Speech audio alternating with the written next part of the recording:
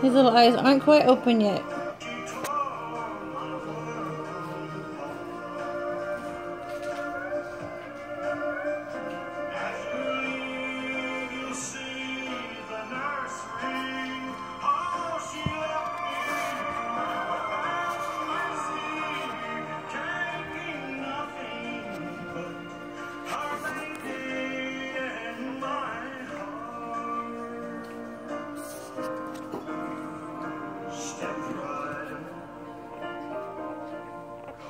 morning.